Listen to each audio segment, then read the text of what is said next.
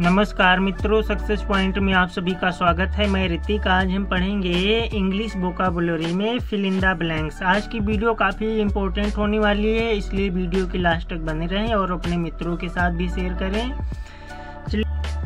हमारा पहला क्वेश्चन है this knife is cutting plastic तो इसमें ये हमारा है यूज़ फॉर बी है यूज़ टू तो इसमें यूज़ फॉर फिल किया जाएगा या यूज़ टू फिल किया जाएगा? देखिए, दोनों का अर्थ समान होता है, लेकिन यूज्ड फॉर जो है, वो आई एन जी के साथ आता है। Used for I N G के साथ आता है, जबकि यूज्ड टू ये वर्ब के बेस फॉर्म के साथ आता है। ये हो गया वर्ब का बेस फॉर्म जैसे कि द एन यूज्ड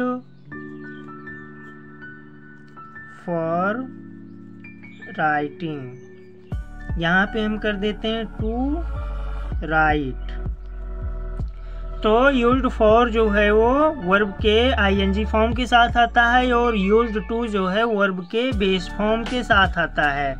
तो यहाँ पे कट देखिए, इसमें आईएनजी लगा हुआ है। तो यहाँ पे हमारा फिल हो जाएगा used for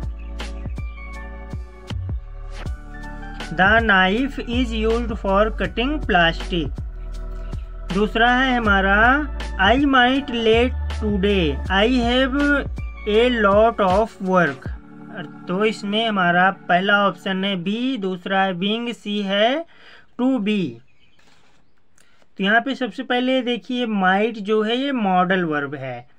जैसे कि होता है माइट हो गया कैन हो गया कुड हो गया शुड हो गया विल मस्ट। ये होते हैं, ये वर्ब के बेस फॉर्म के साथ आते हैं। जैसे कि प्ले नॉट प्लेइंग तो यहाँ पे वर्ब का बेस फॉर्म है प्ले यहाँ पे ये नॉट प्लेइंग ये गलत है। हमारा प्ले सही है। तो might can could should will must ये सभी मॉडल वर्ब हैं और मॉडल वर्ब वर्ब के बेस फॉर्म के साथ आता है। तो यहाँ पे हो जाएगा हमारा बी अर्थात हमारा इसमें ये फ़र्स्ट वाला सही है।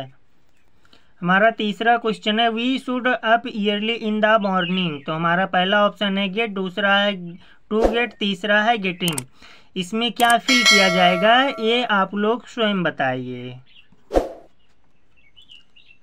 वीडियो पसंद आई हो तो अपने मित्रों के साथ भी शेयर कीजिए ताकि वे भी इसका लाभ ले सकें। मिलते हैं अगली वीडियो में। तब तक टाटा बाय बाय